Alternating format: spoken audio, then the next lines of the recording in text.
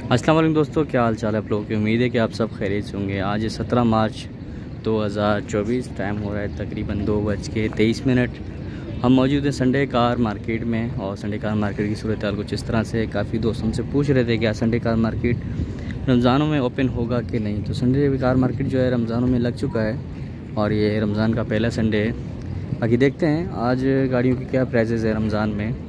क्या पता कुछ कम हुई हूँ? कुछ लोग पूछ रहे थे, यार, क्या पता रमज़ानों में प्राइजेस कम हुई हैं सब, आप सर्च तो करें मार्केट तो सर्च कर लेते हैं आज। आप भाइयों के साथ शेयर भी करेंगे इंशाल्लाह मेन वीडियो में। बाकी सूरत हाल कुछ इस तरह से है भाई। गाड़ियाँ आ रही हैं अभी भी।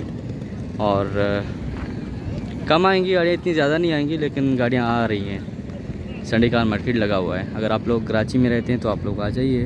अगर सिटी से बाहर रहते हैं तो फिर नेक्स्ट संडे आने की कोशिश कीजिएगा, क्योंकि आपको आते आते इस टाइम तो पाँच छः बज जाएँगे, उसके बाद फिर रोज़ा अफ्तार का टाइम हो जाता है। तो बाज़ार वगैरह जो है, तकरीबन के ना होने के बराबर होता है। तो देख सकते हैं आप लोग, गाड़ियों का ख़रीद ख़रीद, करने का जो तरीका है, आप भाइयों को मैंने गाइड किया हुआ है।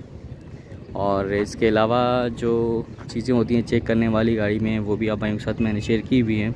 जैसे कि एक्सीडेंटल गाड़ी ना लें पेपर जिसके कम हो वो गाड़ी ना लें, और बुक वगैरह शार्ट उसकी प्राइस कम होती है।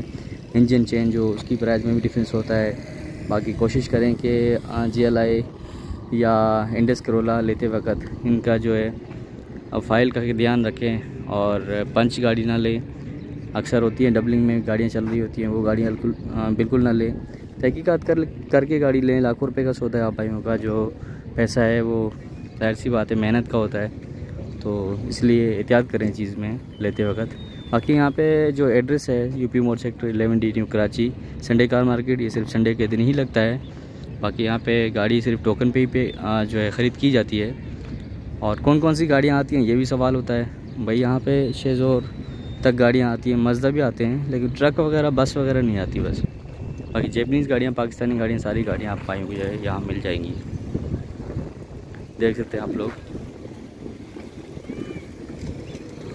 बाज़ार की सूरत यार। एंट्री फ़ीस वही चार सौ रुपये है। बाइक की पार्किंग आजकल नहीं लग रही। सब अपनी ज़िम्मेदारी भी बाइक पार्क करते हैं। जैसे कि मैंने खुद अपनी बाइक वहाँ पार्क की हुई है। कोशिश करें, जल्दबाजी बिल्कुल ना करें सौदे में। गाड़ियाँ सर्च करें। यहाँ अच्छी से अच्छी गाड़ी मिल जाएगी। एक से एक गाड़ी होती है यहाँ पे। एक गाड़ी पे रुक जाते हैं तो आपका जो है अगला बंदा जो फ़ायदा उठा लेगा आपसे। थोड़ा सा सर्च करें गाड़ियों को प्राइस थोड़ा सा चेक करें गाड़ियों की। फिर आप गाड़ी यहाँ से परचेज़ करें। कोई अच्छा बंदा साथ लेके आए जिसको गाड़ियों के बारे में पता हो और जो गाड़ी को जानता हो इंजन के बारे में बॉडी के बारे में, बाकी पेपर वगैरह आपको चेक करने नहीं आते तो आप सिविक सेंटर चले जाएँ, बेहतर तरीका है। आप जो है नुकसान से बच जाएँगे।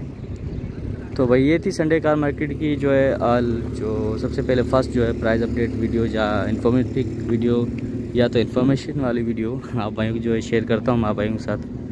तो ये है।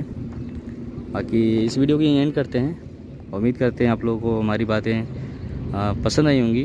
तो वीडियो को लाइक कर दिया करें देखते वक्त और चैनल को लाजमी सब्सक्राइब कर दिया करें, अपने दोस्तों के साथ शेयर कर दिया करें। तो मिलते हैं इंशाल्लाह बड़ी वीडियो में। तब तक के लिए अल्लाह हाफिज़।